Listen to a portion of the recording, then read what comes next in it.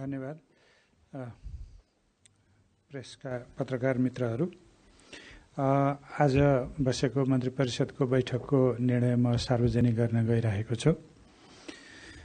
विश्वव्यापी महामारीको रूपमा रहेको कोभिड उन्नाइसको सङ्क्रमण फैलिने जोखिम बढ्दै गएको देखिएकोले नेपाल सरकार मन्त्री परिषदको मिति दुई हजार सतहत्तर एक चौबिस गतेको निर्णयअनुसार सो रोग रोकथाम र निर्मूल गर्न सङ्क्रामक रोग ऐन दुई हजार बिसको दफा दुई बमोजिम जारी गरिएको आदेशलाई मिति दुई हजार सतहत्तर ज्येष्ठ बिस गते मङ्गलबार मध्यरातसम्मका लागि लागू हुने गरी निरन्तरता दिने भन्ने निर्णय भएको छ। धन्यवाद।